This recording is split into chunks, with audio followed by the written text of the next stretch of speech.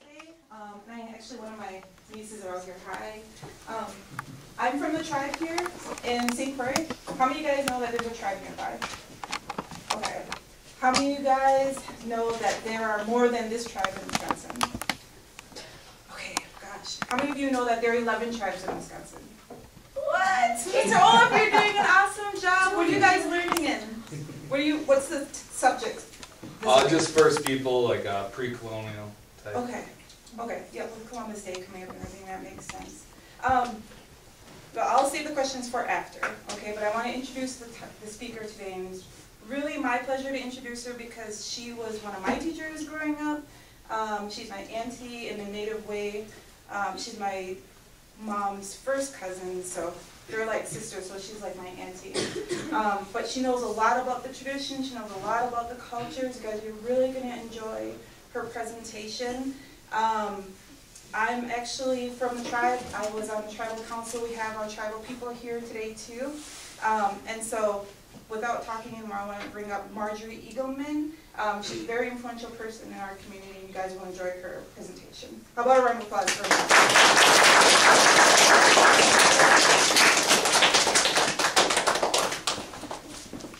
Hello, Mr. Olaf's class. Um, Bonjour, Bikroma Uh, that means hello, students. Um, my name is Marjorie Eagleman, and I'm here to talk about the history of the St. Croix Ojibways Indians of Wisconsin. Our history began many, many years ago when before the white man came. We lived by the shores of the ocean in the east. It was prophesied that a light-skinned race would land on our shores of, on the shore and bring death and destruction to our people. After a great after a great council, we started traveling westward according to the prophecies and followed the sign of a sacred vision along the way. The seven prophets came to the Ojibwe with instruction of life from Creator. There are so many, there were so many people that these words have been told through generations. The people were so many and powerful that if one was to climb the highest mountain and to look all directions, they would not be able to see the end of the Ojibwe nation. The seven stopping places began first to the, to an island shaped like a turtle, an area known as the St. Lawrence River, present-day Montreal. The second stopping place was Niagara Falls. From there, they traveled to what is today Lake Huron and Erie, traveling westward and stopped when they came to a large body of water.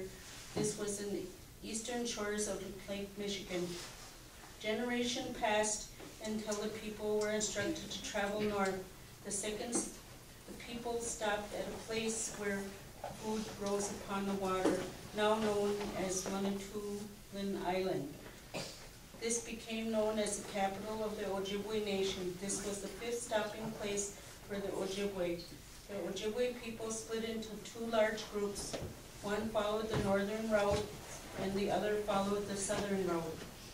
The northern group stayed on an island known as Spirit Island. The southern group settled here where they found the food that grows upon the water, wild rice. Believed to be the gift from Creator, this was the sixth stopping place for the Ojibwe people. One of the prophets had spoken of a turtle-shaped island at the end of their journey.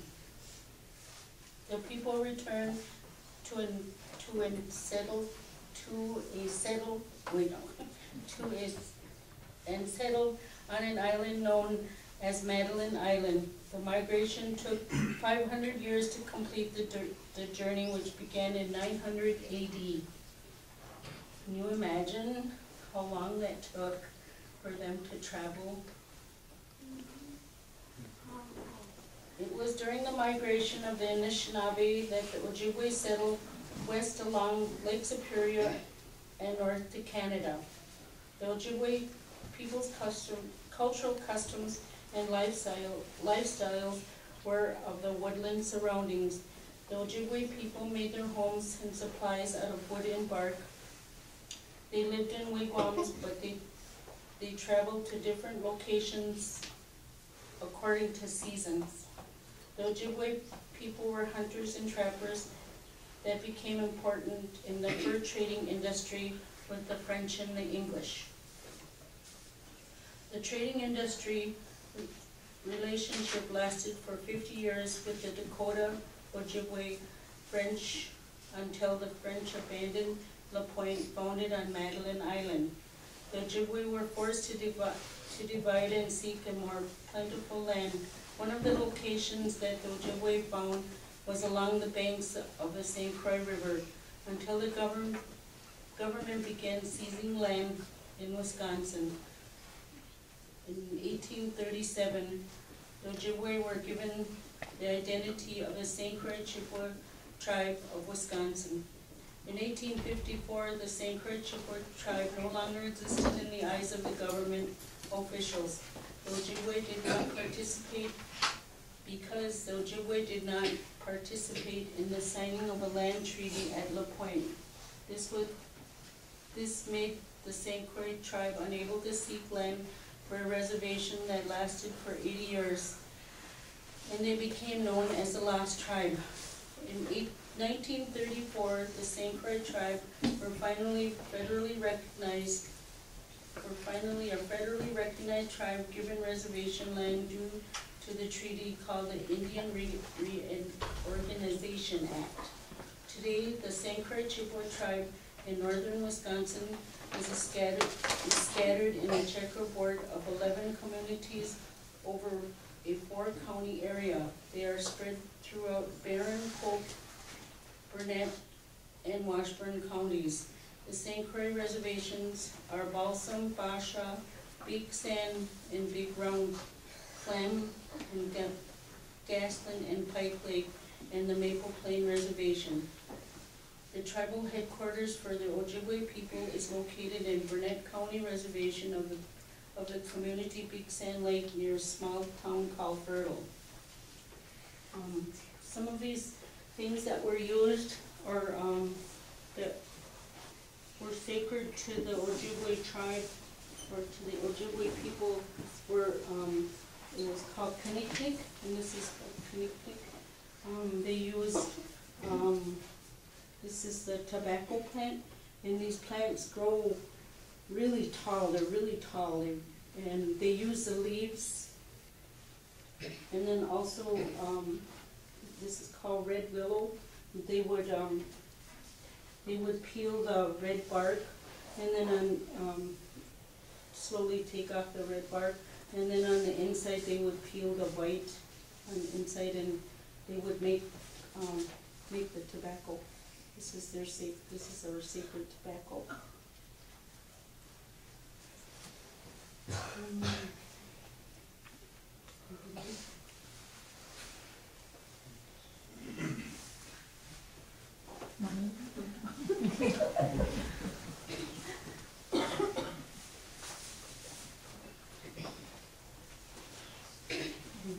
Mhm.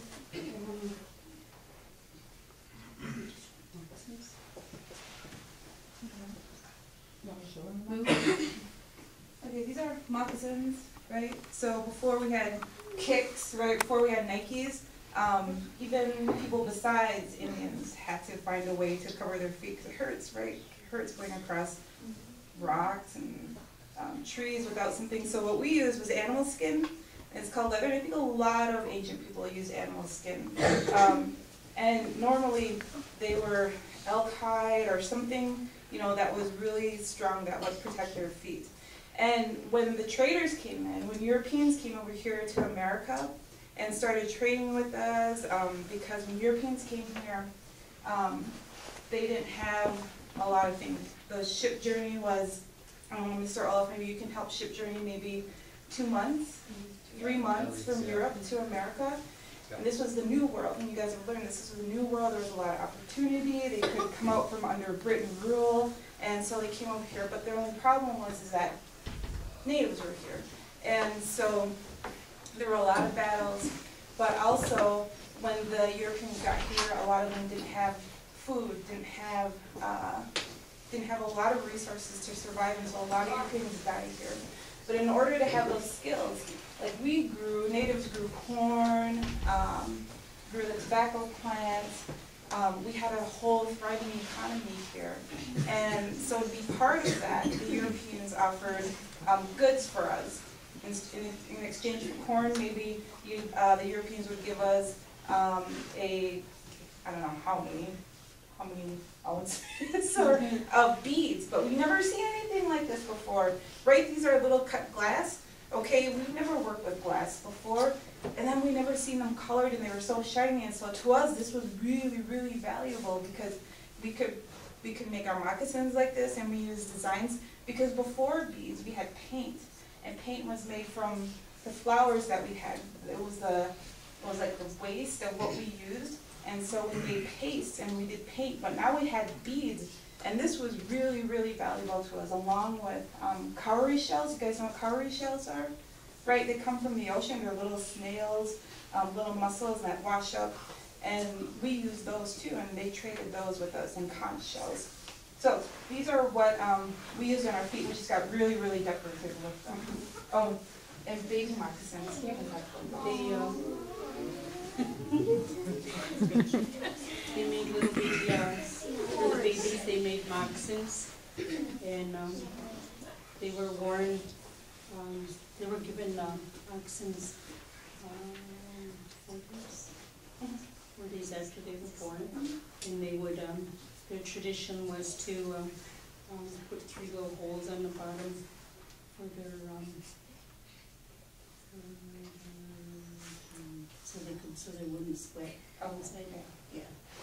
And these are, and they're different, right, so this is a little more of a cultural thing, but see how the moccasins are different? These are Ojibwe, well, these are woodland moccasins, I have to say, because other tribes have, make our moccasins like this too. And it's just more of a style thing, but these are woodland moccasins, so the tribes that are around here. And these are like plains moccasins, so these are like, um, Sioux and Cheyenne who, um, actually live in the, in the plains area.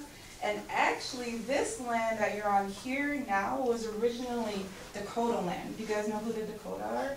Yeah. Okay, so like Sitting Bull, right? The great chiefs, you know, the ones who, who fought a lot. Um, this was their land. And when we came over, when Marge talked about the migrating from the, the east coast, we actually originated up by Nova Scotia. and We came down the St. Lawrence River, we made that big journey, and we came to where the creator said, there's food that grows on the water, which is wild rice. When we got here, there were already people here. There were the Dakota people here. And so we had a lot of wars and we have a lot of um, songs and stories that go with those wars that we had to fight to, to have this land because it was so fertile, right? So when you go out to the Dakotas, there's not a whole lot there. Really no one wants to live there. We'd rather live here where we can grow things and be safe. And it's not so hot and there are trees. Um, so we have to fight for that. But speaking of the Plains people, and this is a little more decorative, um, the beadwork that when we traded for beads, we traded our food for beads, um, our skins for beads, and in this area, fur trading was a big deal. Um, the French were very prominent in this area, um, and so we traded um, like otter's tails. Did, did any of your parents ever talked about going trapping? Okay, so they go out and they trap um, Bears. well, bears, yeah, Bears. yeah, beavers, okay. Um, but then they skin those animals, right? I don't know if your parents do it, but what we did was we used the animals for food, um, for whatever else that their bodies could be used for. And then we'd skin them and tan their, their pelts, and those were very, very valuable to the French, um, people who came around here, and that's what we traded for. But these are kind of neat, these are bugle beads, just other things that, that we use with the beads. And some of the other materials that was used was the, um, the birch bark, and they would make birch bark baskets out of the, the trees. So you guys know what birch trees are, right? Okay, so in the spring, is it in the spring or summer? Okay, so in the spring, the, the, the, um, the trees are a little too hard, right, they're still frozen from the winter, but when the summer months came on, um, you could actually take, okay, so if this was a birch bark, if this was a birch tree, you can cut the outside layer and then peel it off. And that's what we did in the summer, and that was kind of a, a women's thing to do, was to go out and to get the birch off the tree. And if you soak, okay, it's bark, so if you feel this, let's pass this around, okay? Is okay pass this? Okay, so if you feel this, it's hard. Pass that one out again. Okay, so it's hard now, but if you work with, if you just take, peel the bark off the tree, it's gonna be pretty tough like this. But if you soak it for a long time, and I don't know how long, because I've actually never Gentle. worked with birch bark, but if you soak it for a while, it becomes pliable, and you can shape it into, you know, this is decorative, this is a canoe. Um, but you can shape it into those things, and then this is actually part of the bark too. And I don't know which part of the bark it is, but if you peel it into little, um, threads, you can either braid it or twist it into like this, this big thread, and that's what holds it all together. Now, can you imagine, I never knew this, but these birch bark, um, baskets, we actually made bowls out of, and somehow they used them to cook, like boil water in, and I don't know how that was done, but over a fire, okay, I don't know how our ancestors did it, but they found a way to use those for cooking pots, because we didn't have, um, steel, we didn't have metal, we didn't have all of it, it was strictly, um, anything that came off the land. And another thing we made out of birch bark were whole canoes, this is a little bitty one, but a whole canoe made out of birch bark that floated on the water, that, you know, a lot of men could sit in, and it didn't, it didn't sink, and that's always baffled me too. Um, and some people, and it's become an art now, because we don't really use the canoes anymore, because we have dugout canoes or, um, aluminum ones, yeah, or aluminum ones, or boats that we go out on the, the water with. Kayaks, oh my god, yes. But, um, it's become an art now, and some people still do it. Um, and that's what Marge does, is cultural preservation, is making sure these arts aren't lost. Oh, just in And then also like for when they had, like, when there was like, Traditions, just gonna skip. like when the men would go out hunting, or, you know, and they would make, uh, the women would make like pouches, um, um, some of the, um, uh, regalia, they call it regalia, they would make like, um, moccasins, um, they'd make like the breech cloths, the leggings, a vest, anything that, cause they used everything.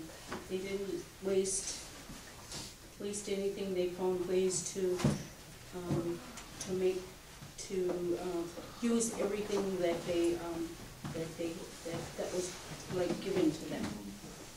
And this is a pouch. You could either, you know, you can put your tobacco in there, or you can, um, whatever is valuable, you could put it inside this. Or either they could be worn on a, on the side as a man would wear it. Yeah, so a lot of decorative things, and this is a yarn belt, and again, from the trade, because we never had textiles. Um, so it was just animal skins that we wore primarily, but as Europeans started coming in, um, then we could get more decorative with our, with our daily wear, with our ceremonial dress, like what Marge just held up, um, with our, um, our formal attire, like when people got married, then it could get really, really fancy, and that's when you started seeing the colors come in. And here for the woodland people, especially Ojibwe, these are, these are pretty, I don't wanna say common, but they're pretty special. It's a yarn belt, and this didn't come until after the Europeans, but, um, learning how to weave them together to make a belt. And, um, in our ceremonies today, um, yarn belts are, are, hmm, they're more decorative, but they're pretty commonplace in, in our ceremonies. So here's the, um, like the Navajo, like the rug weaving, right? But we use yarn to make, to make belts, and the designs can get pretty fancy.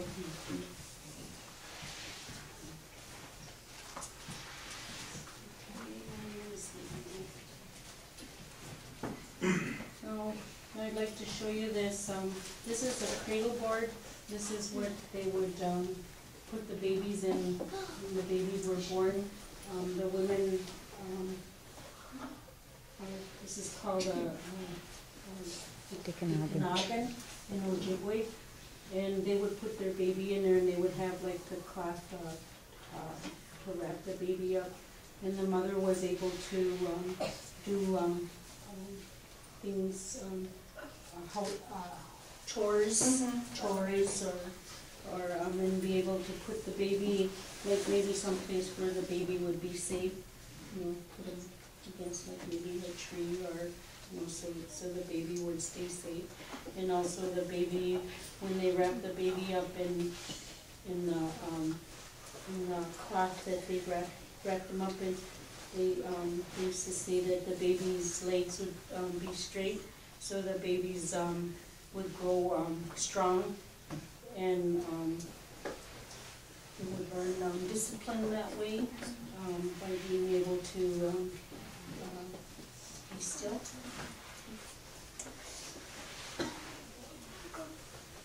I think that's all. Yeah, was there anything you wanted us to touch on in particular, Mr. Olaf, Well, or? that was, uh, we learned a lot about, uh, clothing, um, shelter and, um, food, so, Okay, so you learned about like the wigwams, right, that Yeah. the Ojibwe people, okay. And we still, um, make them a little today, and it's out of, uh, willows and just like this, you know, we didn't have of the textiles or anything that, until the Europeans came over, so like this is, um, which, what is this? It's, maybe, who knows, it's, but see how it's bent? I could never get over this, I swear to God, and today it still amazes me, but if you soak wood long enough, you can bend it into anything. And that's what our people did, um, and that's how we made the wigwams that we have today, is, is soaking the willows and then, um, shaping it into the housing that we, that we use. But, um, that's all different today, today, um, and I like to tell this because sometimes I run into people who don't know this, but today, we live in houses, um, we have running water, we have cars, but we do like, you know, Marge, who keeps the traditions, um, we like to keep these with us because it's a part of our history that we don't wanna forget. And coming and sharing it with you is even a big part of that, because it helps us say it over and re- and remember it, and, um, our tribal people to take part in that. Yes? Now, when you say soaking the wood, do you just soak it in plain water, or do you just add, do you add stuff to it?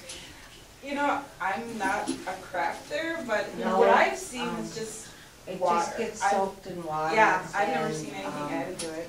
We made a, uh, maybe about four years, three years ago, we made a full-size canoe. Um, a lot of it was, uh, uh, pine cedar. I believe that is pine, that cradle board there was made out of pine. So, um, it all depends on what wood that you use, because some woods are stronger than others. So, uh, pine is probably about the most pliable after you soak it in water. Um, I believe cedar might be next after that, but ironwood is a very strong wood. That's what we built our lodges, our wigwams with, was ironwood. And how long are we talking for like soaking, like? Um, when we did those canoes, we soaked pine and we soaked cedar, and I'd say maybe about, uh, five days.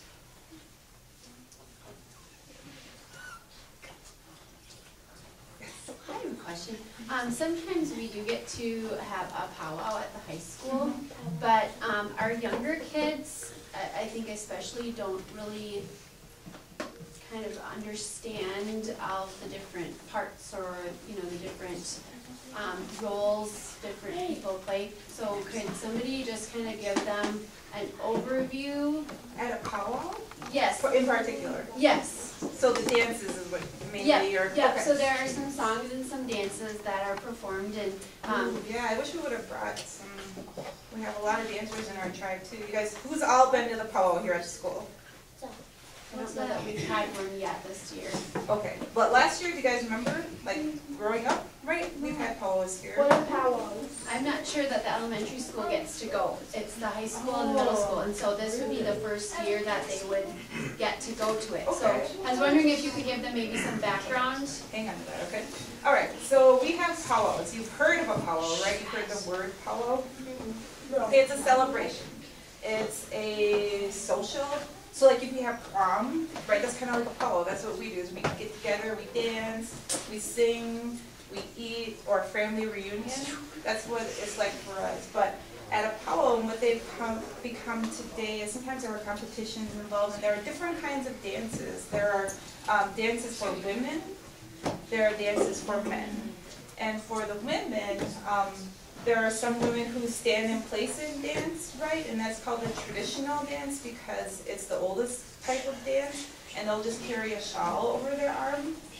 Um, there's a fancy sh- shawl dance, which is what it means. They put, instead of holding the shawl, I know this is hard to imagine, but they'll put it over their shoulders, and it's really athletic, and you'll see them, you know, um, doing really, yeah, dancing really fast.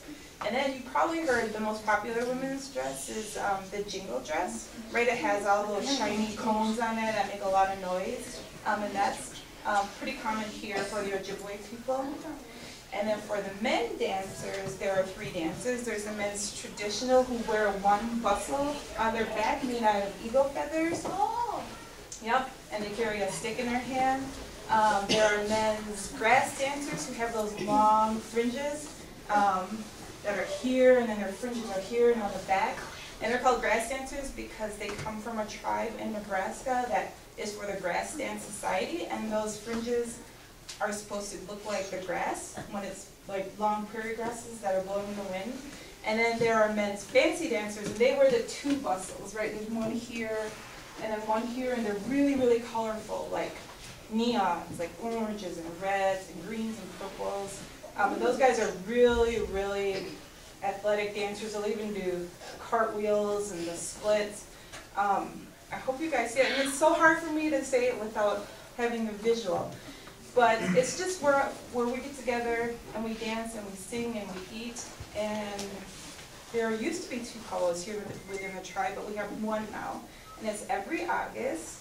Um, the last weekend in August, it's called the Wild Rice Festival because we celebrate the harvest of wild rice.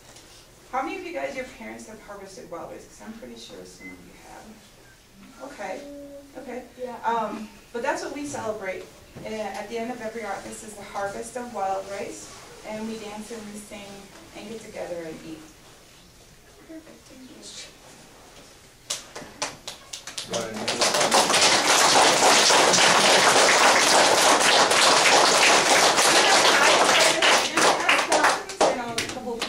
Yeah, they have questions, yeah, we have some time. Who has a question? So, Sophia, you had a question? Anybody? What kind of holidays did they have? You mean traditionally or today? Traditionally, yeah.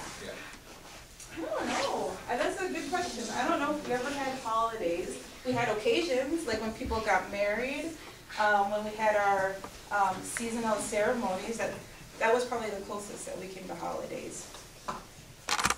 Um, can you name any foods that haven't on been on our packets lately? Foods that haven't been on your packets. That we use like these packets, that's how we know so much. Your traditional foods is what he's asking. Okay, about. so you've talked about wild rice, I would assume. Mm-hmm. Okay, you've talked about corn. Yeah. What else do we have, Marge? Oh, uh, deer. We ate deer. That was pretty common here. We could eat rabbit. Mm-hmm. Pretty much almost anything. Beans, squash. We'll keep thinking of more. Mm-hmm. But I'm sure you probably, you probably learned about all of the foods because what we ate was incorporated in- into the Europeans' culture because they needed to eat to survive. Were canoes made of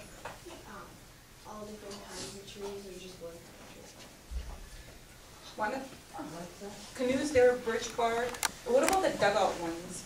Um, those were made from different styles of trees. Again, you've gotta look at your woods and what's the harder wood, what's the most pliable wood, what's easy to carve out. Um, canoes were pretty much all made out of cedar, some pine, and a lot of birch bark. And, uh, pine, pine pitch is what they sealed it with. Okay, we'll come back to you both. Um, did you do like any celebrations for Christmas? No. Um, that's a European, a Christian holiday, and, um, most natives, well, all of the natives when the Europeans came here were not Christians. That was a totally foreign thing to us. Uh, we had a lot of our traditional beliefs, and that's what, um, Marjorie helps the tribe remember and, and continue to do. Um, so when the, actually it was the missionaries who came over first to America, well, maybe the Vikings first, but the missionaries were some of the first people, your first Europeans to come here. And they started, they brought the Christian religion with them, and a lot of our native people became Christian either by choice or most of the time by force, so it's not, it's not a good history for the natives. Um, but we have something called the Native American Church these days. Um, and now, because it's such a cool holiday and we like giving presents to each other, we do celebrate Christmas. Okay, um, Um, are there any special games? lacrosse. Um, who knows what lacrosse is?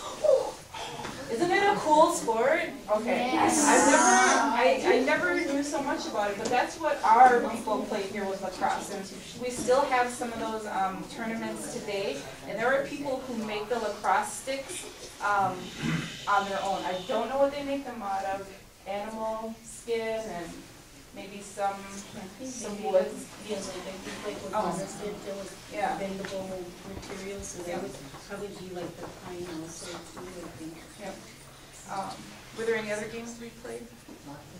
Oh, moccasin games, right. Um, moccasin games is like, um, is that where you're guessing which is, okay. So it's just like a guessing game. We have all our moccasins lined up and we put, um, something underneath, but you have to guess which one. The sticks. Yeah. Just the sticks. Yep. And also the bone game, Mm. the, you with the bones, the deer bones. And then you use the, the, the bone, it is, the long bone, and then plus the hoops, that the hoops of the deer? Oh, too, and it has like the point system on the little piece, and then there's a point system on it. And you'd be able to put the, it looks like a. You, get the on top of that or, um, it has the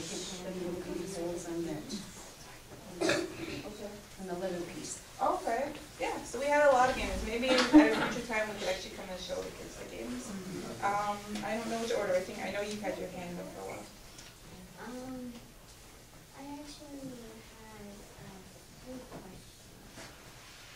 Um, I saw something on the little adult thing. Um, and it had like, it looked like a pen or something on it. Oh, this? Yeah. Oh, it's just a safety pin to hold it together. So, so what's question? Okay. Um, Oh. what's the little cup? Uh, Marge brought that, that? Um, that's just a, uh, um, uh, the copper is really special to, uh, the Native American people because of the Treaty of eighteen thirty-seven. This is what the, uh, um, non-natives were seeking when they made that treaty with us, because they knew that there was a lot of copper around Lake Superior and other minerals, but this was one of the valuable, um, minerals back then. It was important to the non-native people, and I'm not really quite sure why. But nowadays, women carry a lot of copper because we're considered the keepers of the water. And we drink water out of these vessels to, uh, just to remember our history and to remember that treaty that, uh, this came from. So, um, a lot of medicine people that I know, uh, always have copper with them. So this, these were gifted to me and my grandson, uh, years ago. So when we go into ceremonies, we use these copper vessels to drink water out of. Um, can we, um, look at it and pass it on and stuff? Sorry. Okay, what do I? Um, did they use snow snake, snakes in winter? Snow snakes? Yeah. What's a snow snake? It's Okay, just that- a snake that they decorate and, and they'll like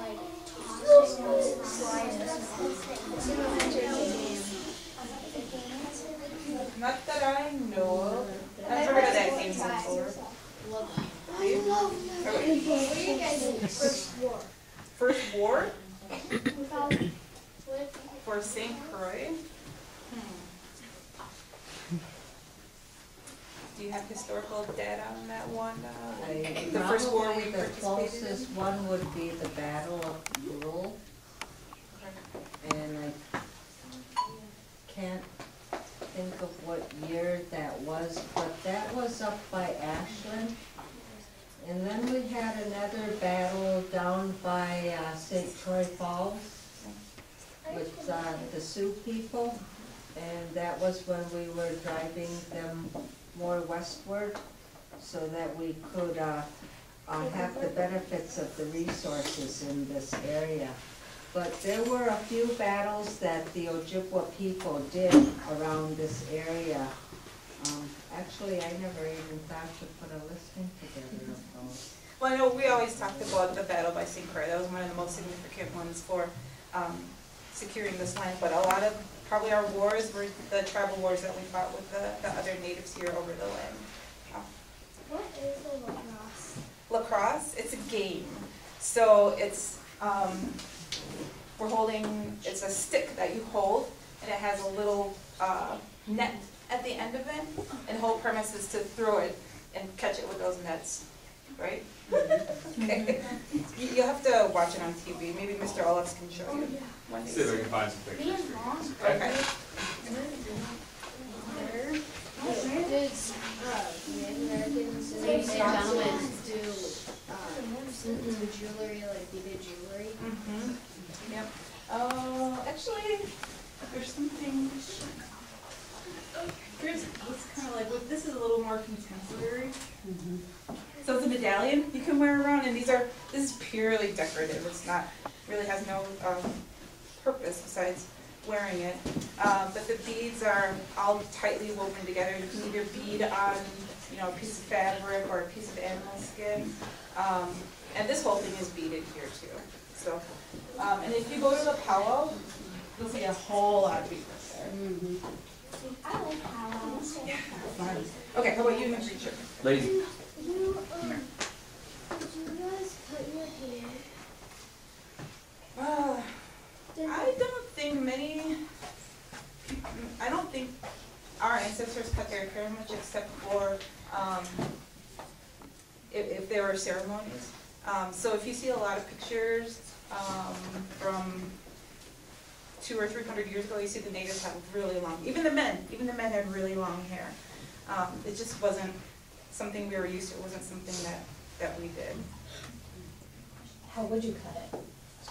Ooh, I don't know, Wanda, We used uh, is it bone? uh, horns off of animals, made them into knives. We used a lot of chert uh, mineral and sharpened them. There were a lot of tools that uh, we made from like rock and uh, bone. um, Arrowheads that were made from what's called chert. Um, It's kind of like a stone that's very sharp. So there were a lot of different materials that we used to make like knives, arrowheads, that kind of thing.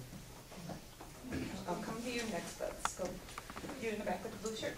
Um, did they ever eat any apples? Apples?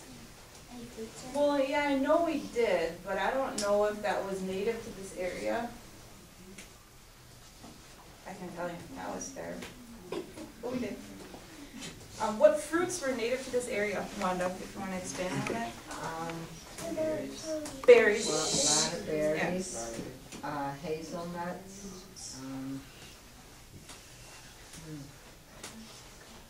Well, you know, with all of the vegetables and everything that we had, um.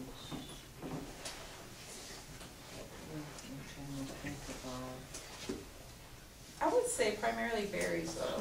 yeah. Strawberries, blueberries, blackberries, raspberries. like- Hands up, the last three questions. Okay. Sundance, Kira, and Josh. Okay. Josh, okay. So Sundance? Did you guys walk or did you guys like ride horse? You mean as We- migration? Yeah, like. Walk. Yeah, horses didn't come here until the Spaniards came in the fourteen hundreds. Um, what kind of horse did you have and how did you make them? What kind of tools? Uh, like Wanda said, tools were made out of animal bones because if you file them and out of um, rocks, like flints, right? If you file them so much, they become really, really sharp. That's what we use for our tools. What ocean did you live next to? Atlantic. Nova Scotia is kind of my main. Um, Johnny, that's it. Uh, let's give another round of applause. Um,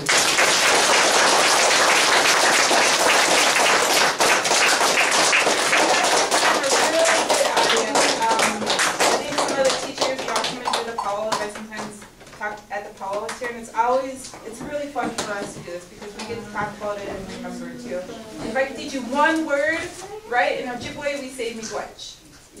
Miigwech. That means thank you. So miigwech.